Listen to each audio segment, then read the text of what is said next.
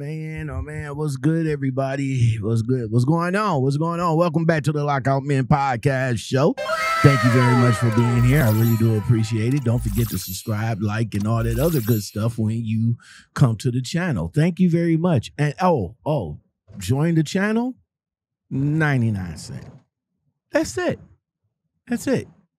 Price of a cup of coffee. That's what I need. I need some coffee up in me. But let's get into this right quick. Listen, listen. There's a lot of discouragements in trucking, right? You at home, you trying to figure out what you want to do in life, and all of a sudden, trucking is is what you want to do. Then you decide to go and get your permit. Now that you got your permit, you decide to go to school, and then when you get to the school, that's when the discouragement comes into play, man. Yes, sir. So you say to yourself, like, yo, I can't do this. I can't do this. But let me let me tell you something. I I thought I couldn't do it, right? When I got to school, I got into the truck. Let me let me stop for a second. I was excited when I got up in the truck. I mean, I seen all the bells, all the whistles, big truck, uh you know the the the the the manual the stick shift all the numbers all the dials all the push buttons and all like that i got excited when i got up in the truck but man i'm telling you my anxiety kicked in when i had to learn all these dials all these buttons the manual the stick shift the clutch all of that. And it can be discouraging you know? And i'm i'm i'm just here to tell you that once you get it you got it. It's like riding a bike. Once you learn it you know it okay but let me explain something to you though everything that you're going to learn in school you know everything that you're going to learn with a trainer you're going to keep learning because you're not going to learn everything. You're not going to learn everything from school. You're not going to learn everything from a trainer. You're going to keep learning as you go.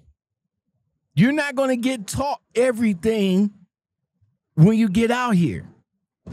Nine times out of 10, the stuff that you learn in, in, in school, you might as well want to throw that out the window because everything that you learned in school doesn't always apply in the real world, in the reality of trucking. You're going to learn alley dock, you're going to learn parallel park, you're going to learn offset backing. Nine times out of 10, there's you, you you rarely do any parallel parks out here. You you might need to do a little bit of offsetting. And there and there's a whole bunch of 90 degree 45 degree backing. But you're gonna you you you're gonna get into a situation where you're gonna have to blindside back and they didn't teach you that. You didn't learn that you ain't learned that at all. You ain't learning with your you ain't learning with your trainer and you ain't learning in school.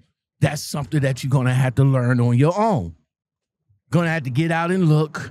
Make sure you got the distance. Get out and look. And I know some of you's like, yo, I'm if I if I had to blindside back, I'm not gonna do it at all. But some of these shippers and receivers, you're gonna have to blindside back. And that is something that is rarely taught in school and with your trainer, depending on where you guys go. That's something you're gonna have to you that's something that you're gonna have to learn. Now you may not perfect it, but you're gonna have to learn it and you're to keep learning while you're out here. So I know, I know there's the, the, trucking could be a discouragement. I know, I know, I've been there. There's plenty of times that I get discouraged all the time, but, but this is something that you choose to do. And if you want to do it, then you're going to do it. Once you get it, you get it. Once you know, you know and you just apply that pressure to yourself to keep moving, to make it better, to keep going. All right. So, my advice to you is take that discouragement put it deep into the gut and continue to be and, and continue to make positive vibes in positive ways. All right? All right. Let me know in the comments below what y'all get discouraged about.